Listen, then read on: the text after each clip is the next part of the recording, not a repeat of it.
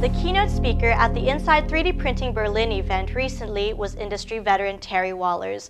With more than 25 years consulting experience in the 3D printing industry, Terry is the foremost authority in the global landscape of the technology's development, application, and uptake. 3DPI.tv interviewed Terry, who was kind enough to give us some of his time to get his take on the German market in particular and the bigger picture in general. Can you give some insight into the value of the Inside 3D Printing event series? Ah, well, this uh, Inside 3D Printing event is, is a first. Uh, this, this series of events, uh, one almost every month, every other uh, month, uh, from the U.S. to uh, Europe, Asia, even South America coming up next month. So it's very exciting to see not only these events come about, but the audience, the number of people is unprecedented close to 700 this morning at the event, uh, so that's, that's quite exciting. The German market, vendors and users, is very strong in the 3D printing industry. How have you found the event in Berlin?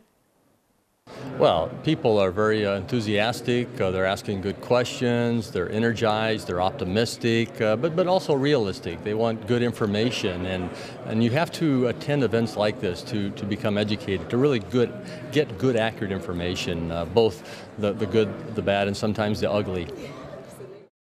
The 3D printing landscape is vast and growing. Where do you see it in 10 years?